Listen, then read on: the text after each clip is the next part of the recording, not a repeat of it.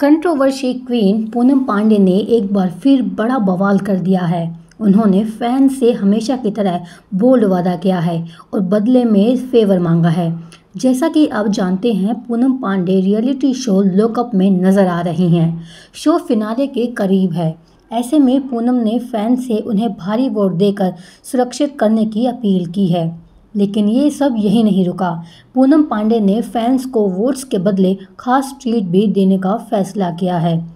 पूनम पांडे ने लोकअप के हालिया एपिसोड में कहा कि वे नेशनल टेलीविज़न पर न्यूड होंगी अगर उन्हें सबसे ज़्यादा वोट्स मिलेंगे तो। इस वीकेंड लोकअप से बाहर होने के डर से पूनम पांडे ने ये बड़ा वादा किया है।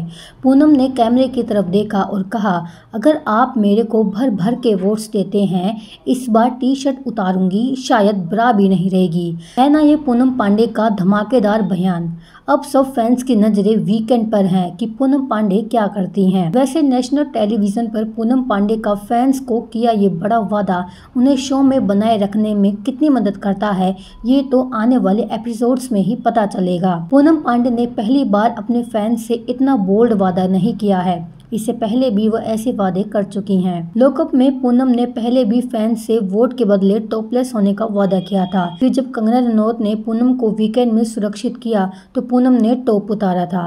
पर क्योंकि उन्होंने ब्रा पहनी हुई थी, इसलिए वे पूरी तरह से अपने वादे पर खड़ी नहीं उतरी थी। पिछले दिनों Poonam Pandey national television open open yard area में नहाती नज़र आई थी। पूनम पांडे को शो में नहाते तो टेलीकास्ट नहीं किया गया था, लेकिन पूनम खुले में नहाने के लिए पूरी तरह ज़रूर दिखी थी, जिस पर बाकी कंटेस्टेंट ने मज़े भी लिए थे। आपको तो मालूम ही होगा कि पूनम पांडे स्ट्रिप होने टोपलेस होने का वादा करके ही लाइमलाइट में आई थी। वर्ल्ड कप 2011 में भारत की जीत पर पूनम ने स्ट्रिप होने का वादा किया था। हालाँकि फिर बाद में वे अपनी बात से मुकर गई थी।